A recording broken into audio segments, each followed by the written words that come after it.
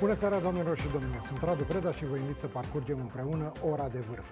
O oră în care vom încerca să analizăm subiecte cu adevărat importante, care au un impact direct asupra vieții noastre de zi cu zi. Care, de când cu pandemia, războiul din proximitate, scumpirea carburanților, inflația în general, a devenit tot mai grea pentru mulți dintre români. Viața, vreau să spun. Și atunci devine știre orice întâlnire cu români fericiți, cum sunt sau, de fapt, cum ar putea fi, locuitorii sectorului 1, cărora li se pregătește un plocon de 1000 de lei strict pe criterii geopolitice. Vom discuta în această seară despre ce vrăj a mai făcut primărița de la sectorul 1, dar nu numai, cu jurnalistul Mirel Curea de la evenimentul zilei. Bună seara, mulțumesc Bună seara. că ați acceptat invitația noastră. Mulțumesc pentru Și vă propun pentru început să urmărim un scurt material despre ultima inițiativă a doamnei Armand. Locuitorii sectorului 1 din capitală pot deja să se înscrie pentru voucherele de 1000 de lei promise de Clotilde Armand. Ar putea fi o veste bună dacă n-ar fi cel puțin deocamdată doar o promisiune. Proiectul pentru așa numitele vouchere anticriză este într-adevăr inițiat de controversatul Edil, dar nu a fost aprobat de Consiliul Local și nici nu se știe dacă va fi aprobat. Proiectul propune acordarea unui astfel de voucher pentru plata facturilor la energie tuturor adulților care care locuiesc în sector. După estimările făcute de reprezentanții instituției, de aceste etichete vor beneficia aproximativ 208.000 de persoane cu vârste de peste 18 ani, iar bugetul estimat este de 208 milioane de lei. Primăria a făcut o platformă online pentru înscrieri denumită ticheteanticriză.ro, unde rezidenții pot deja să se înscrie. Inițiativa primarului este criticată de consilierii locali din opoziție. Președintele PSD sectorul 1, Petre Florin Manole, spune că această măsură este inechitabilă și că ar trebui ca aceste fonduri să fie direcționate către persoanele care resimt cel mai mult creșterile de prețuri la alimente sau medicamente. Proiectul lui Clotilde Armand este o metodă de a acoperi lipsa investițiilor din sector. Cartierul aviației nu poate fi încălzit cu tichete de 1000 de lei, spațiile verzi sunt degradate, gunoiul a ajuns o problemă de notorietate națională, a precizat liderul social-democrat. Sectorul 1 al capitalei este cunoscut prin cartiere rezidențiale selecte, locuite, evident, de cetățeni cu venituri mult peste media națională. Prin urmare, ajutorul pentru plata facturilor s-ar putea să ajungă la cine nu are nevoie de ajutor. Cât despre risipa de fonduri, dincolo de utilitatea sau inutilitatea acestui proiect, ar fi interesant de aflat cum a aprobat primarul cheltuielile cu realizarea respectivei pagini de internet internet din moment ce proiectul nu este aprobat. Un proiect așadar cu foarte multe probleme și de principiu și formale și de execuție. A fost lansată o inițiativă, se colectează deja înscrieri pentru acest proiect în condițiile în care Consiliul Local încă nu și-a dat aprobarea și e de văzut dacă și-o va da. Poate reprezintă un, o metodă de presiune a doamnei primar asupra consilierilor locali, pe care îi va acuza în caz că îi vor refuza din nou proiectul, că nu se gândesc la bunăstarea cetățenilor. Mirel Curea, cum ți se pare acest proiect? O golăneală. În primul rând că după demersurile pe care le-a inițiat, de banii ei ar beneficia doar uh, cetățenii care locuiesc pe raza sectorului 1 și au mai mult de 18 ani. Dar de ce? Copiii de ce nu?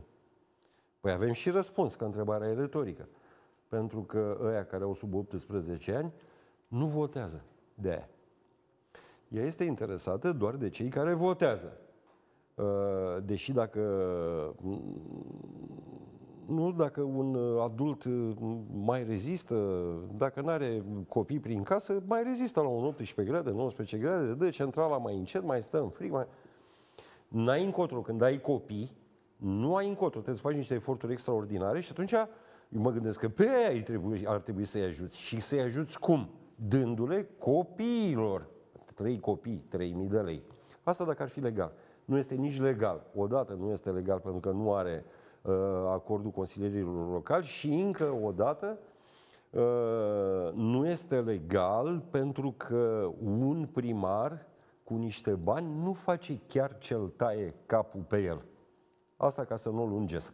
Sunt foarte multe uh, aspecte ilegale. Sigur, uh, Clotilde Armand, sunt absolut convins că știe că proiectul ăsta al ei nu va avea niciun fel de sorți de izbândă, dar, așa cum foarte bine ai precizat, nu vrea decât să poată să-i arate cu degetul pe ăștia, pe liberali, pe, și a pus în cap și pe liberali, care au sprijinit-o inițial, se arată cu degetul și pe liberali și pe pesediști. Bine, apropo de liberali, ei au ieșit cu o declarație destul de contundentă și care aduc în discuție un alt aspect de asemenea foarte important. Ei spun că, sub pretextul acordării acestor tichete, Arman vrea să colecteze datele cetățenilor fără a respecta normele GDPR în scop electoral. Pentru că foarte Asta posibil. este și una dintre explicațiile pentru care trebuie peste 18 ani, ca să poți să introduci datele acolo relevante din punct de vedere electoral. Uh, sigur că pe asta o interesează. Doar asta o interesează. Să dea o lovitură electorală. Acum nu știu dacă neapărat are nevoie de uh, datele alea, uh, deși dacă ne gândim de la... Ce sunt date actualizate? Se poate face direct mailing către... Se, da, ea deja se adresează cetățenilor. Am primit două zile la rând câte un, un prospect în, în cutia poștală. Da, că tu ești chiar Stau beneficiar, da, potențial da, beneficiar. Da, un prospect în căsuța poștală că s-a deschis un centru dintre ăsta de seniori. Doamne, de ce asta a făcut în 2 ani, 2 ani jumate, cât, nu mai știu cât are. În rest, cine se uită la noi și nu locuiește în sectorul 1, să se abțină de la a ne înjura era un sector impecabil, impecabil, de drag, când mă duceam la piață să-mi fac cumpărături la piața 16 februarie, de drag traversam parcul Bazilescu. Minunat, flori, curat, copii la joacă, splendid, un parc absolut splendid. S-a transformat într-o șerpărie. Vara ajung copii la camera de gardă la Spitalul Grigore Alexandrescu cu mușcături de uh, căpușe din parcul ăla. O nenorocire. Gunoiul nu se strânge. Înainte se, se măturau străzile odată la două zile a căzut un uh, pom putred, a căzut peste mașina unui uh, vecin de al meu. Culmea, dimineața la ora 4 a murit vecinul respectiv și la ora 9 i-a căzut un pom peste mașină. Adică nici nu mai știi, Clotilde. Da, e foarte interesantă uh, justificarea doamnei primar în legătură cu acest proiect și care este uh, cumva contradictorie. Că, pe de o parte spune, dăm acești bani pentru că am făcut economii din contractele oneroase cu salubrizarea și am... a făcut economie din tot, că n-a făcut nimic. Nu, deci să presupunem că așa e. Bun, deci ai, ai reușit să faci niște economii, da?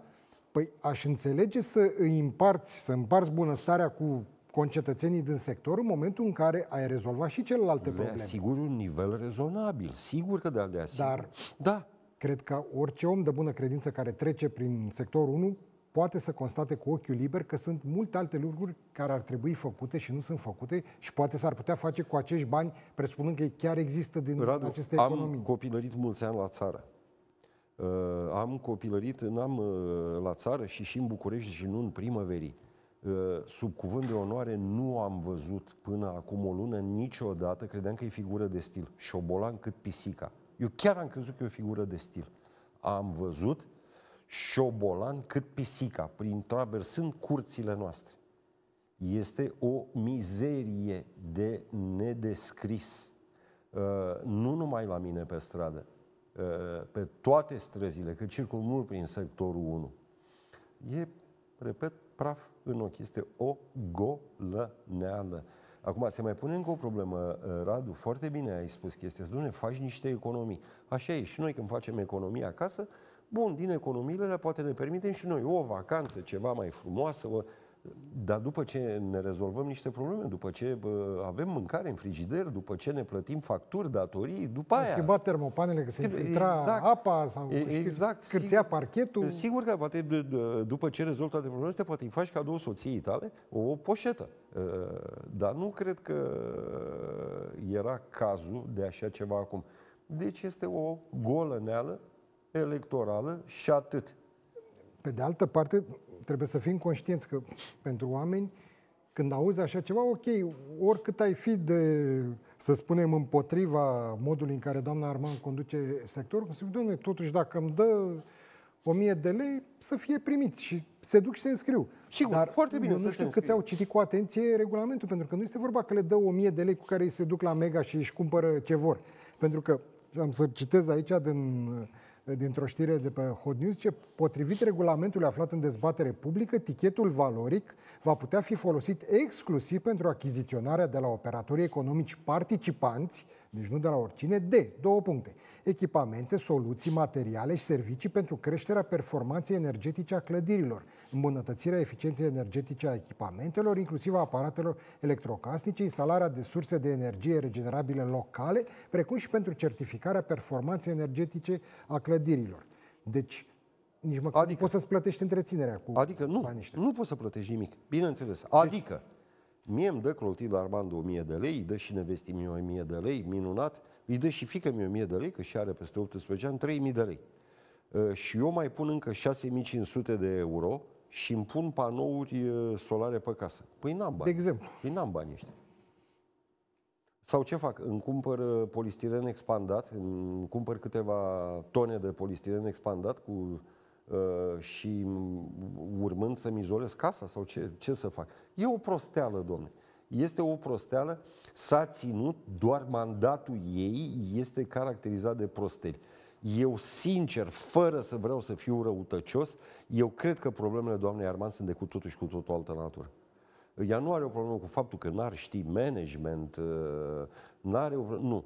Cred că problemele este de cu totul și cu totul altă natură. Îmi pare rău că electoratul din sectorul 1 nu le-a depistat, pentru că erau evidente uh, de multă vreme, nu le-a depistat și nu au sancționat-o la Mie vot mi se așa pare cum ar fi trebuit. totuși destul de curios că ea în continuare beneficiază de sprijinul cel puțin declarat uh, al partidului, în ciuda inclusiv a problemei cu, pe care o are cu anii și cu incompatibilitatea, unde, mă rog, înțeleg că trebuie să așteptăm o decizie a instanței până să știm dacă este o problemă uh, sau nu, dar văd că partidul o susține. Acest partid care, din ce mi-aduc eu aminte, în mandatul trecut, s-a, s-a opus vehement oricăror așa cum le numeau ei, pomeni Pomeni electorale electorale, sigur de că la da. primărie, chit că alea erau foarte bine fundamentate, da. voucherele pentru nou-născuți, Dar tu sumele ești, pentru ești foarte căsătorii. mirat că ăsta e un partid sinucigaș?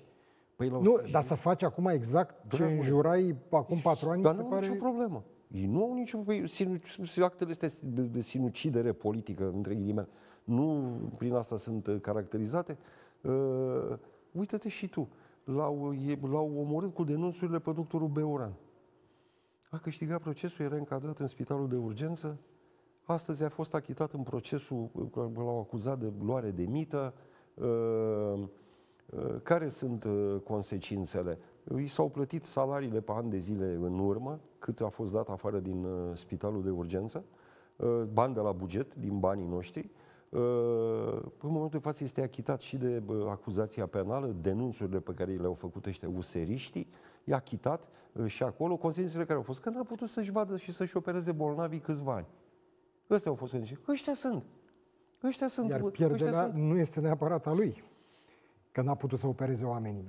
Păi nu e a lui, e bă, a oamenilor, sigur că da. Sigur că da. Oamenii nu au putut beneficia de serviciile unui dintre cei mai buni chirurgi pe care îi are țara asta.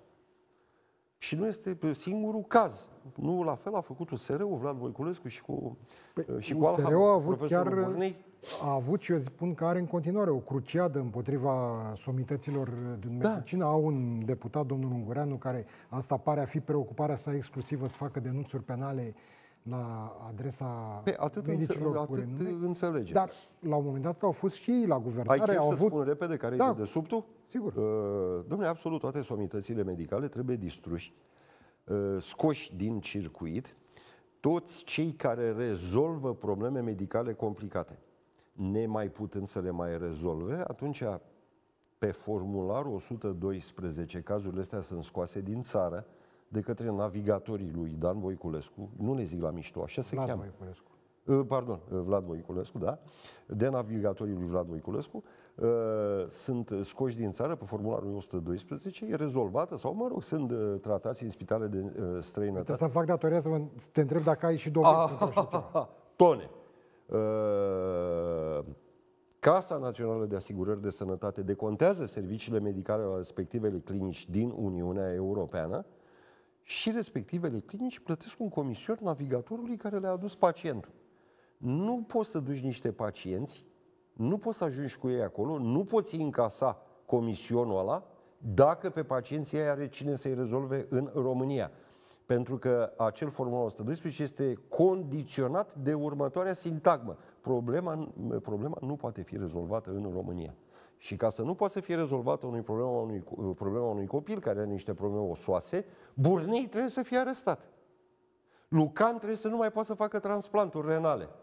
Irinel Popescu trebuie să nu mai poată să facă transplanturi hepatice. Uh, doctorul la cu părul mai lung, mi și prieten, am un lapsus acum. Narcis Copcă. Narcis Copcă nu trebuie să mai facă transplantul pulmonare. Ăsta este motivul. Să nu se mai rezolve problemele în țară ca să se rezolve contra comision. Comision este 15-20%. Cu cât este mai complicată problema medicală și cu cât mai este mai nerezolvabilă în România, cu atât suma de contată la spitalul din uh, Uniunea Europeană este mai mare și cu atât cei 20% sunt, reprezintă o sumă mai mare. La 100 de mii per capita, comisiunea e 20 de mii de euro. Asta e o presupunere. Nu vezi, n-avem. Nu este nici... Ai văzut vreun contract este, din ăsta? Nu este absolut nici o presupunere. Este subiectul la care lucrez acum. Nu este nici o presiune, nici o... Am și discutat cu conducerea unui spital din Germania și care mi-au zis, da, această practică este uh, specifică României și Poloniei. Și am stat de vorbă cu doi profesori, cu un șef de catedră polonez și un alt șef de catedră român, că așa am și ajuns și, uh, și acolo. Uh, ei mi-au explicat care este mecanismul și, cum să zic eu, uh, s-a îmbucat perfect cu informațiile pe care le aveam din țară. Adevărul este că toată această campanie vine și pe un fond de unde este destul de ușor să extragi, uh, nu știu, acuzații, lucruri care nu merg bine în sistemul autohton de sănătate. Nu ne referim strict la acele somități. Dar, în general, sistemul Sigur de sănătate de da. România... Da Sigur că Și atunci da. este de, e mult mai ușor să spui, da, domne, normal, îi ducem în străinătate unde acolo condiții cum trebuie, oamenii sunt tratați ca lumea. Nu îi ducem aici să îmbolnăvească în spital de alte boli, de infecții nosocomie da, și așa mai departe. Dar ei sunt croiți să-i distrugă exact pe ăștia care sunt șefi de clinici și cu specialități și în alți profesioniști și care au clinici foarte puse la punct. Eu spun asta pe, pentru că această campanie a avut ecou în public destul de larg. Că, al minteri, te gândeai, domne, cineva care se ia de vârfurile medicinei românești ar trebui să nu aibă spor, cel puțin în fața publicului. Da? Ok, are spor la DNA, că se ducă ea și îi arestează. Da? Dar publicul ar trebui să condamne. Dar se pare că nu, pentru că și în rândul publicului există nemulțumiri. Sigur că da. Reale legate de Multe de dintre ele, nemulțumiri uh, obiective, pe bună dreptate, pentru că, într-adevăr, spitalele din orașele mai mici, din multe orașe mai mici, sunt la pământ. Doctorii nu se bat să se angajeze în acele spitale și atunci aduc și o lipsă de personal. Uh, sigur că da, sunt nemulțumiri obiective, dar uh, în afară de nemulțumiri obiective, aici mai intervine și firea noastră a, nenorocită a românului. Dacă vedem un popă curvar, uh, toți preoții sunt curvari, dacă vedem un profesor agramat, profesorii niște tâmpiți, adică exact butoanele pe care Traian Băsescu a știut să apese. Școala românească scoate tâmpiți, doctorii greșesc 80% din uh, uh, diagnostice, uh, pensionarii toți sunt niște burtoși nesimțiți, adică generalizările astea tâmpe. Mulți uh, români care, mă rog, pun emoția înaintea uh, rațiunii, achiesează la chestia. Mai categoriile astea mai mai ratate, să le zic așa. Păi un ratat. Cum să n-aibă boală pe un doctor? Un ratat. Cum să n-aibă boală pe un profesor?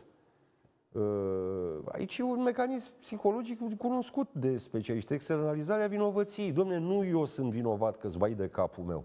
Uh, nu vinovat este sistemul, că dacă și eu aș fi putut, uh, aș fi ajuns și eu un savant. Nu, bă, n-ai fi ajuns un savant. Nu. Dacă era să ajungi saban, pune mâna pe carte și ajungeai saban. Nu trebuie să ajungi saban. Nu poți, n-ai posibilitate să înveți. Nu poți să faci o facultate de medicină, durează șase ani. E greu, după aia încă o rezidenție în cinci ani. Bă, da, învățai o meserie, erai un meseriaș, că un meseriaș foarte bun câștigă mai mult decât un medic. Atunci, Iată, sunt mulți. Am, am pornit de la uh, tichetele doamnei Armand și am ajuns la sistemul medical și apropo că, că se leagă unul dintre lucrurile pe care doamna Armand ar fi putut să le facă cu surplusul de bani în caz că acele economii despre care vorbește chiar sunt reale, este continuarea proiectului cu marele spital, cu relocarea spitalului uh, de urgență Floreasca, a început de predecesorul domnului Asta sale. e chestie prea complicată, Radu. Și Ar ăla- fi putut să ăla asfalteze e un proiect și să mare. repare străzile. Dacă vrea ce să facă cu banii ăia, să intre pe pagina de Facebook a fostei noastre colege, Olguța Vasilescu, primarul Craiovei, care deja se luptă cu orașe pe europene. Uh, Anul trecut a fost pe locul 6 la uh, cel mai frumos oraș european decorat de Crăciun. Uh, Să intre pe pagina ei să vedă, eu nu știu cum reușește femeia asta, nu știu când doarme, nu știu. În fiecare zi are câte două, trei evenimente că a inaugurat ceva, că a început o lucrare undeva, că a finalizat altceva în altă parte, să intre pe pagina ei de Facebook. Uh, La Nicușor Dan, varianta cu nădragi a lui Clotilde Arman, domnule, o singură chestie, o singură realizare a semnalat-o și el pe pagina lui de Facebook. A pus iarbă în fața Teatrului Național. Adevărul e că nu se mai putea cu iarba aia Nu, pârjulită. clar, clar. Dom'le, În rest, e pârloagă peste tot pe unde depinde de ei. Uh, au și ghinion, că sunt câțiva primari foarte buni, dintre care și unul serist, îmi scapă numele lui acum, parcă e pe la șase, care chiar fac treabă. Da. Da, șase e un liberal uh, Tefelist. Ușor cam așa, tefelist. da, nu Ciucu. Exact, exact, exact. Au și mare ghinion, foarte mare ghinion, că termenul de comparație lângă ei, uh, el e senin. Nu știu dacă l-ai văzut pe Nicușor, dar îi spune că, uh, că dreapta n-are cum să facă prostia să nu-l susțină pe el.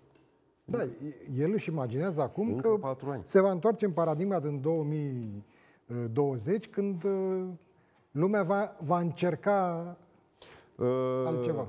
Domne, uh, ca așa e în România, domne, trebuie să atunci când faci o afirmație, trebuie să începi cu un disclaimer, să, să uh, îți pui mâna în cap.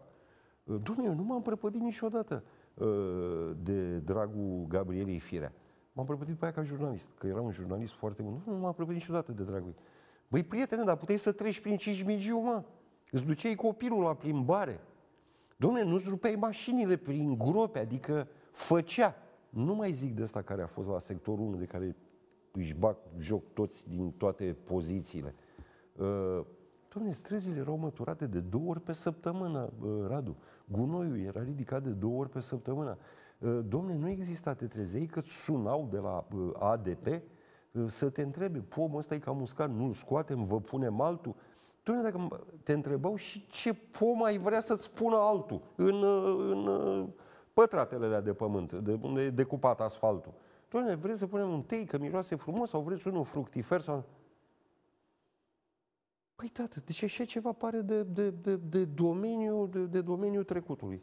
Total, de Nu, da. domeniul visului. Pentru că l-a invocat pe primarul general, mie mi se pare foarte interesant cum acum, după 2 ani și, mă rog, după 2 ani de mandat, a descoperit că soluția pentru problema termiei din București este cea pentru care se lupta Gabriela Firea cu morile de vânt în urmă cu patru ani, respectiv unificarea producătorului și a rețelei de distribuție într-o singură entitate, da? și care el de pe margine, ca și uh, parlamentar de București, se opunea vehement și spunea nu, nu, nu, nu se poate așa ceva. Da, Și acum vine și ne spune că asta e Că soluția și asta că e să-i dea soluția. guvernul S-a bani. prins și el. Uh, Doamne, dar chiar m-a amuzat la culme, domnule, nu mai știu, a cumpărat Gabriela Firea, nu mai știu acum, niște trolebuze, niște autobuze. Dom'le, a fost un scandal. Da, autobuzele Așa, că de ce le-a cumpărat? Turcoaz. Și acum a apărut ăsta cu el. Domne, a venit uh, primul lot de autobuze. Adică tu parcă le-ai fi cumpărat cu bani de la măsa. Nu, Adică parcă a fost... la el au venit tramvaiele. Sau nu știu. Autobuzele erau. Tramvaia, a, erau venite. Da, așa, au deci venit. el a preluat licitația cu tramvaiele A. și acum s-au livrat A, primele deci- deci povestea asta a tramvaie preluat pentru el cu care tramvaiele. trebuie Da, refăcute da, da, da. peroanele, mă rog, Da, nu în da. cap.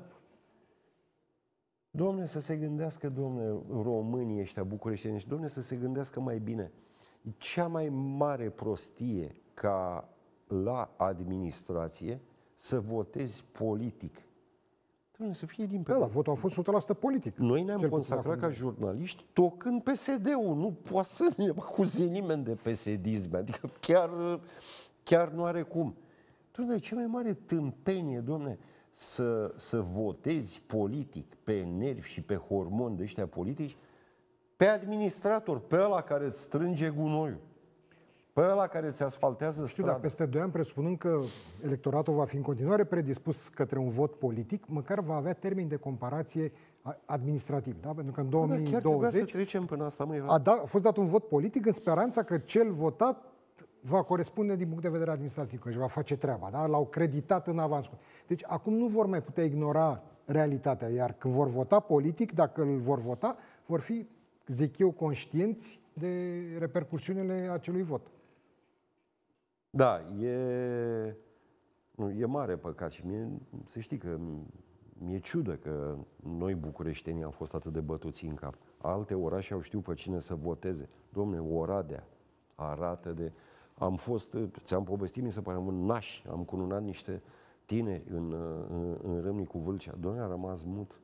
Arată, zici că ești în Belgia, domne, zici că e un orășel de la foarte cochet belgian. Nu? Domne, chiar așa să fim proștii țării, domne, parcă Parcă mă cam ustură la linguric așa chestia asta. Uh, Noi și cu timișorenii. Timișoara m-a E sunat... adevărat că în București este și o si- situație aparte care nu se mai găsește în niciun alt uh, mare oraș din România. Noi, practic, aici în București avem șapte orașe. Da? Deci sunt șase orașe prim- Da, e de adevărat. sectoarele, fiecare cu primar ales prin vot direct, fiecare cu buget, fiecare cu putere executive și avem și o primărie generală cu alt buget, alt primar, alte atribuții și nimeni nu are voință sau putere politică să facă ordine în acest haos care vine de pe vremea lui uh, primarului general Traian Băsescu, da? care în primul lui mandat avea toți primarii de sector și Consiliul, toți erau PSD, doar el era Da. primarul general și nu putea să facă nimic și a zis, da, vă arăt eu vouă. Și au schimbat Uh, ba nu, PSD-ul a schimbat legea da? și a dat puteri primarilor de sector. Da? Și a zis, ok, rămâi tu acolo de unul singur, așa, și Da. dăm puteri primarilor de sector. Da, E, și chestia asta n-a mai putut să o mai schimbe nimeni. N-am mai putut să o mai schimbe nimeni, exact, da. Și sunt, da, am ajuns în situația în care am ajuns. Da, m-a, pentru sunat, că, că... m-a sunat uh, unul din, un șef de secție la o ma- maternitate din uh, Timișoara, Doamne, doar că nu plângea omul. Băi, zice, avem o copii noi născuții sunt în pericol de moarte. Pot muri, e frig.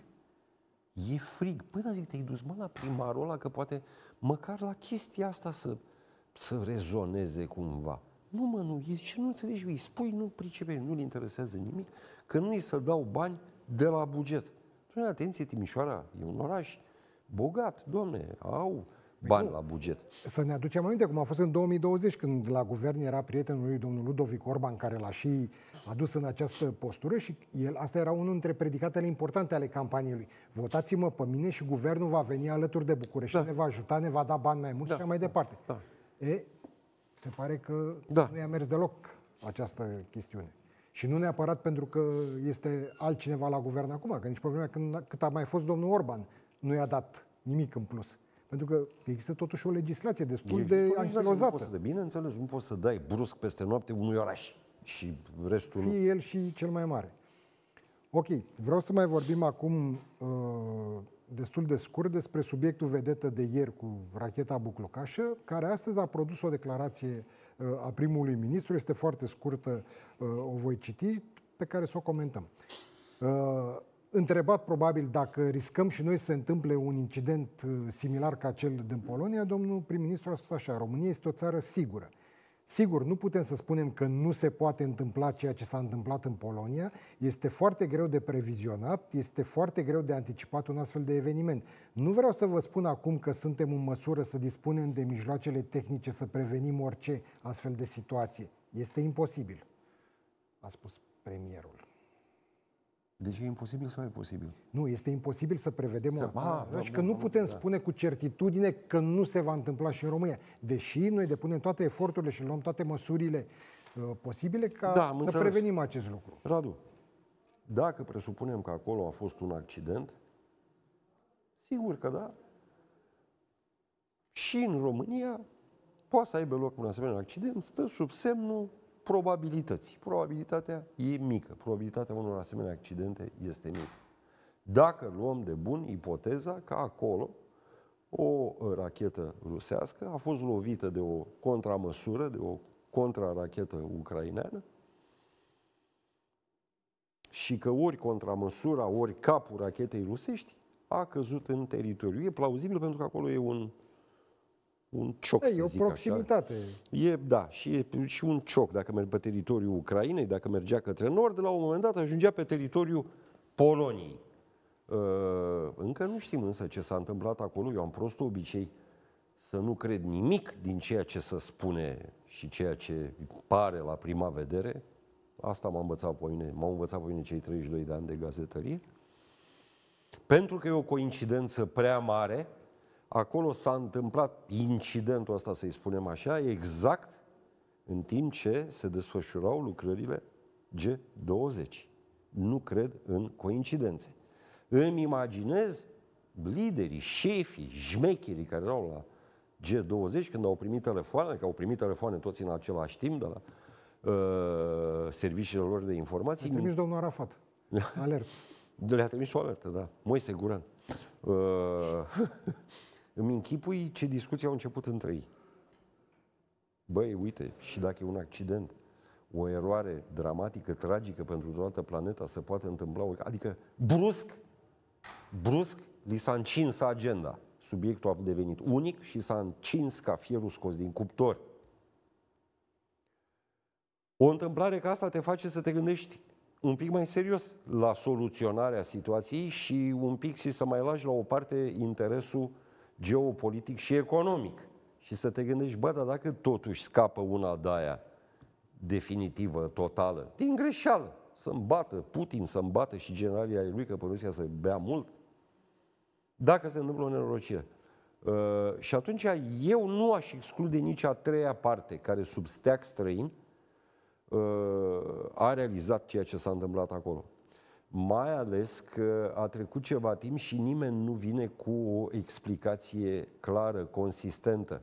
Deși este un lucru știut că pe radar este observabil tot ce se întâmplă în zona aia, atât la mică înălțime, în cazul rachetelor de croazieră, cât și la înălțime mai mare, în cazul celorlalte tipuri de rachetă. Adică, până acum ar fi trebuit să iasă cu niște explicații.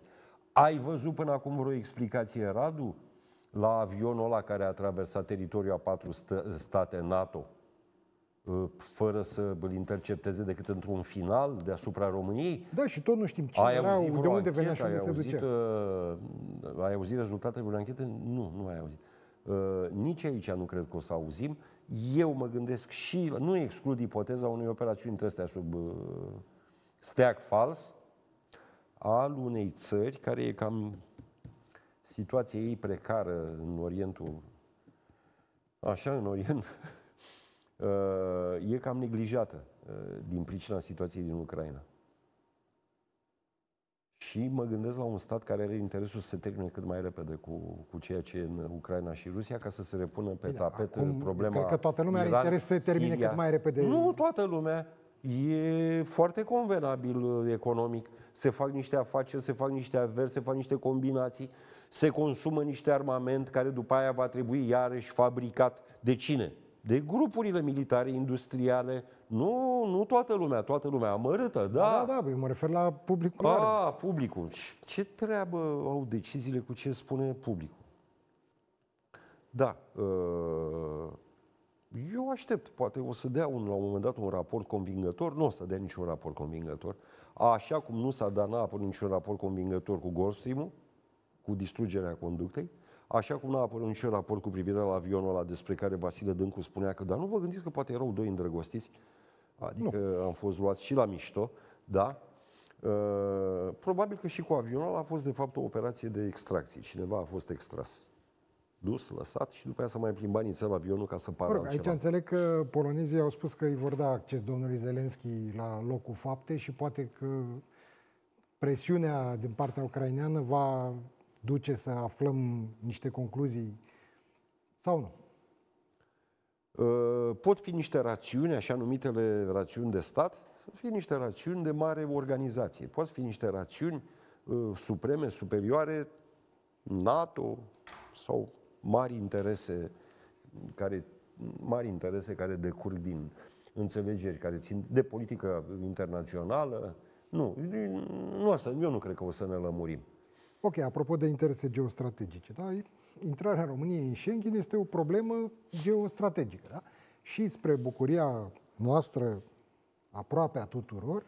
În ultimul raport dat publicității ieri sau alte al Comisiei Europene care a da. reconsiderat, acolo o, o propoziție elocventă. România dispune de o gestionare a frontierelor de înaltă calitate și solidă, inclusiv supravegherea frontierelor și controlul sistematice la frontieră, precum și de cooperare polițienească internațională întreg raportul fiind în acest ton și că recomandă și că recomandă, călduros da. ca România să fie acceptată în zona Schengen. Ei, pe acest fond, de două zile apar pe un site românesc important pe G4 Media niște analize din care rezultă că România n-ar fi tocmai bine pregătită uh, din punct de vedere tehnic. Deci acum nu mai discutăm de problema cu corupția, cu statul de drept cu și mai departe. Cu, da. Dau uh, câteva exemple doar din ultimii ani. În 2019, sisteme de supraveghere de pe coasta Mării Negre au căzut de cel puțin trei ori în momentul în care aproape două tone de cocaină intrau în România pe la Sulina. În 2021, un avion suspect de contrabandă a intrat uh, ilegal pe teritoriul României, s-a întors în Ucraina și în prezent doar două scanere sunt funcționale în tot portul Constanța. În primele 9 luni din 2022 au fost verificate peste 10.000 de containere în condițiile în care pe acolo trec vreo 400.000. Deci astea sunt doar trei exemple în cadrul unei analize mult mai ample din care rezultă că nu suntem tocmai bine pregătiți și că mai mult, este o știre dată în exclusivitate de G4 Media, Olanda a trimis o nouă misiune de verificare să mai verifice încă o dată dacă România corespunde, dacă e în stare să păzească granițele externe ale Dragule, României. te rog frumos să-mi ierți lipsa de modestie, în timp ce eu scriu probat pe declarații ale Ministrului Justiției al Olandei, uh, șeful poliției, șeful sindicatului polițiștilor olandezi. Deci în timp ce eu scriu probat despre îngrijorarea demnitarilor olandezi că, citez, ne-am transformat într-un narcostat. Deci în timp ce eu scriu chestia asta, alți jurnaliști scriu că au intrat droguri pe nu știu unde. Păi cea mai mare de cantitate de droguri care intră în Europa intră prin Rotterdam, prin Olanda. Nu prin Constanța, nu prin uh, gara Basarab, nu prin Triaj, nu prin... Pe acolo intră cea mai mare cantitate. Ce să spun ca să nu te amendeze CNA-ul? Unii ziariști scriu pentru țara lor, alți ziariști scriu pentru alte țări și pentru alte interese. De ce o fac? Am câteva explicații, tu îmi vei spune dacă am probe, n-am probe, eu n-am văzut când ăștia sunt plătiți de state străine, n-am fost de față. Da, da, pe de altă parte n-am ce spune acolo sunt lucruri care sunt coerente, adică nu sunt niște comentarii. Deci faptul că în portul Constanța funcționează doar două scanere este o realitate. Bineînțeles, dacă te vei duce acum și la la, la, nu știu, nu-mi vine în minte, la o școală de călugărițe, vei găsi și niște, o școală, un schid, vei găsi, Doamne iartă-mă, și dau exemplu ăsta, și niște călugărițe care ar putea fi ușuratice la un moment dat. Și asta ce înseamnă? Asta ce înseamnă? Asta nu înseamnă absolut nimic. Este România un stat uh, suficient de pus la punct ca să facă față în Schengen? Păi asta e întrebarea. Este. Uh, și dacă analizăm lucrurile dintr-un alt punct de vedere. E mai ok Ungaria? E în Schengen. E mai ok Croația? E în Schengen. Uh, domne, uh, suntem cumva îl mai mafiot stat din Uniunea Europeană? Nici de cum. Arată foarte clar, există clasamente în zona asta și cu cu obiectul ăsta. Arată clar că nu suntem, nu suntem domnule, cei mai nenorociți. Nu om fi, domnule, nici cei mai heruvim, că nu om fi, nici nu știu care vor fi aia, cei mai heruvim. Uh, Union Bancaire de Suisse a fost amendată de statul francez pentru tranzacții murdare, ca să scurtez subiectul, cu 3 miliarde de euro cu 3 miliarde de... Nu, nu, nu mi s-a întâmplat. Deci nici nu, nici nu La suma asta deja nu mai e corupție, este da, altceva. domne, deci noi pe lângă ceea ce se întâmplă în Olanda, în privința drogurilor, din cifrele lor și din declarațiile lor, noi suntem niște găinari, domne. Noi suntem unii care uh, tragem aurolac din pungă pe lângă aia. Ăia ne freacă ridichea. De ce ne freacă ridichea? pentru că au niște interese electorale, că urmează niște alegeri pe la ei, unul și doi la mână au niște interese economice majore, de notorietate, știute de 30 de ani. Bun, pe de altă parte, lucrurile astea se vor demonstra, adică viața ne va arăta dacă au avut sau nu dreptate, presupunând că vom reuși totuși E un curent favorabil. Vom vedea României. în următorii ani dacă facem față Dom'le, este frontiera un, externă a zonei curent, Domne, noi facem față, dacă e cazul să facem față, dacă ne gândim la un singur lucru, domnule. În România nu există picior de rachet moldovean sau ucrainean de 30 de ani. Și asta spune foarte multe. Spune foarte, foarte, foarte multe. A, că ori trece frontiera de ăștia, GG, cu cartușe de țigări, găinării românești. Da! Dar în țara asta n-a operat nici mafie ucraineană, nici mafie moldovenească. Au fost vânați ca epuri la farurile mașinii noaptea. Și au dat seama că nu pot opera în România. Spunem, știi, ți aduce aminte de vreun caz cu așa ceva în România? Nu există așa ceva. E foarte sigură frontiera noastră. Frontiera noastră nu, e doar legenda, că dacă ai vreo problemă, găsești un ucrainean care să rezolve. E, dar n-am prea auzit de ucrainieni ăștia care să rezolve. Nu, domne, frontiera noastră e foarte permeabilă la dăstea, la găinării, la românisme, dăstea ca în filmele cu Alberto Sordi, care trecea cu uh, cartușele de Malboro sub braț în Italia, în filmele anilor 50. Mai avem doar câteva minute și aș vrea să abordăm un subiect uh, puțin, de fapt foarte diferit de cele pe care le-am discutat până acum. A făcut carieră, să spun așa, în spațiu public în ultimele zile, incidentul de la Mănăstirea Vlădiceni, în care părintele Calistrat a fost surprins inclusiv de camere de la vederi, cum a bruscat niște enoriași. Mă rog, deci un, nu vreau să intrăm în fondul problemei, ci aș vrea să discutăm un pic despre modul în care Biserica Ortodoxă a înțeles să reacționeze într-un caz în care un slujitor al ei era acuzat în spațiu public de niște lucruri total neconforme, nu doar cu statutul de uh, ierarh, ci și de om. Și aș vrea să vedem întâi uh, o declarație a, a părintelui Vasile Bănescu. Nu e părinte. Nu, nu are teologia, dar nu slujește. Ok. Să, e doar purtător de cuvânt. Să, să vedem declarația. Postura morală și spirituală răbuvnește uneori, inevitabil, prin gesturi și cuvinte nepotrivite sau pur și simplu printr-un act necontrolat de violență. O violență demascată brusc. Diavolul, cel care inspiră slava deșartă, cel care ațâță plăcerea de a fi adulat public și care ne joacă abil pe degete, inducându-ne o imagine deformată de sine și făcându-ne să credem că am fi importanți, e sub masca unui ins cum se cade și hâtru, agresiv și vulgar. Expresiile predilecte ale diavolului sunt vulgaritatea gureșă, lejeritatea suspectă față de lucrurile cu adevărat importante, parodierea gravității, circul, spectacolul obscen din jurul propriului sine, ca orice desprindere de realitate, ca orice inadecvare la propria măsură, ca orice abolire a măsurii însăși, excesul, insolența, aroganța, nebunească luare în deșert a numelui Domnului devin condițiile optime pentru o gravă și rușinoasă prăbușire, dincolo de care putem ghici un rânjet satisfăcut. O reacție fără echivoc, aș spune, pe care cu da. niște ani în urmă nu ne-am fi imaginat-o. Extraordinar de fermă, pentru că dacă reacțiile lor erau blânde, la un preot pilit care conducea cu viteză, erau foarte clare în cazurile alea de homosexualitate și Uh, domne, aici uh, foarte corect au sesizat și patriarhul și și uh, domnul Bănescu au sesizat un, un pericol extraordinar de, de mari proporții. Din ce în ce mai mulți preoți suferă de vedetism. Cad în păcatul, așa numitul păcat al slavei deșarte. Domne, de la slava asta deșartă pleacă multă, multă nebunie. Uh, preotul care începe să sufere de, de sindromul megastarului, domnule. Uh, pe ăla l-a luat, e clar, l-a luat dracu de barbă. Atunci ei nu se, nu, nu se mai luptă cu X și cu Y, y care, într-adevăr, au suferit de ceea, cum spuneai, de că au avut o cădere, au căzut în păcat. Aici e vorba de un fenomen și au sezizat foarte corect și ei deja nu se mai luptă cu X și cu Y, se luptă cu fenomenul. Iată, preoți, înalți prelați care fac slujbe pe plaje, mai unii sunt și hirotonesc preoți până pe la loft, până în cluburi.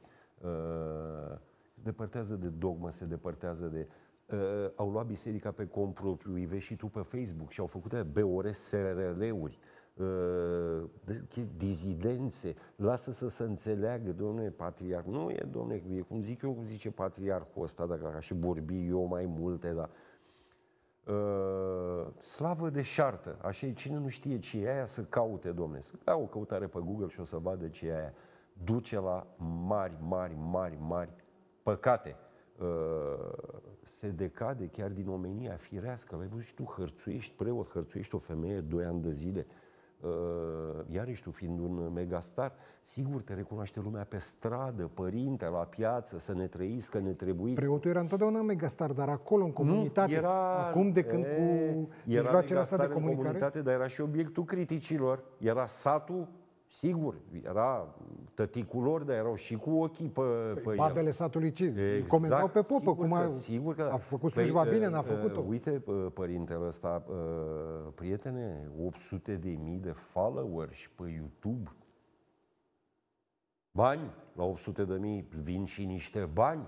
Și după aia notorietatea, e foarte periculoasă notorietatea. Nu ești atent, îți ia mințile. Zminteală, nu? Zminteală. Cum te poți lupta cu asta? Domne, să nu te iei în serios, să mai faci mișto și de tine. Foarte complicat pentru un preot să facă mișto de el însuși să nu se ia în serios, pentru că misia lui misiunea, e alta. E foarte complicat. Atunci, ei ar trebui să se mai întoarcă un pic uh, preoții ăștia de mir către altar, uh, altar ăștia alți de, de, de mănăstire, domne, către, către da, mănăstire. Pe de o parte, li s-a reproșat ierarhilor că nu sunt în pas cu vremurile și că sunt anacronici și așa mai departe, dar vedem că și încercând să se adapteze, sunt excese în partea cealaltă. Sigur și e greu de găsit da, un echilibru. Nu toți pot da dovadă de stăpânirea de sine necesară. Sunt neumblați săracii. Sunt uh, predispuși exceselor. Sunt neumblați. Este ca jurnalistul care tânăr să apucă azi de profesie și mâine, prin nu știu ce miracol, uh, cunoaște celebritatea brusc. Păi vedem pe toate celebritățile astea, vai de capul lor. Domne, acum și uh, succesul ăsta și notorietatea. Uh, e o chestie foarte complicată de gestionat. Uh, repet, dacă te ia prea brusc, te tâmpește. Te tâmpește, nu prea înțelegi ce e cu tine. Devii demiurgic, devii... Acum, la preotul Călugăr, Doamne, avem și un fond preexistent, adică omul acum niște ani a mai fost oprit de la slujbă, a fost dat afară din niște... Omul e violent, e și fire violentă. Uh, a omorât, e îngrozitor, a omorât un cal în bătaie, adică omul are niște probleme. Și pe fondul ăla lui a mai venit și celebritatea, a mai venit și este... L-a luat dracu de bar. E un caz punctual, e doar o formă în care o ia... Mulți. Sunt mulți. E plin Facebook-ul de ei. Păi nu, asta spun, fenomenul ba da. este legat de preoții vedetă. Exact. Așa, uh, care ajung vedetă în diverse feluri. Și de au... și fermitatea. De aici și fermitatea, fermitatea lor, uh, pe care puțin au înțeles-o. Uh, s-au prins că e vorba de un fenomen și că nu mai e vorba de un incident izolat. Știu, dar eu mă întreb dacă oare această fermitate se va putea transpune și în fapte și să fie eficientă. Pentru că mi-e greu să cred că se poate lupta cu armele pe care le au la dispoziție cu această tentație a, a celebrității care este instantanee acum. Deci, da. cum să spun, enoriașii sau publicul care îți soarbe cuvintele, indiferent cât de canonice sau nu sunt, este la un clic distanță. Păi începuse părintele ăsta, făcea podcasturi cu bobonete, cu Uh, o certa pe Prodanca, adică el intrase deja și în zona Se adaptase tabloidă. foarte bine. Voi de mine, dar era, deja okay. era băiat. Din păcate trebuie să ne oprim. Mulțumesc foarte mult pentru mulțumesc. că am fost împreună în această seară. Doamnelor și domnilor, vă mulțumesc pentru atenția cu care sper că ne-ați urmărit. Ne revedem săptămâna viitoare. Până atunci, toate cele bune.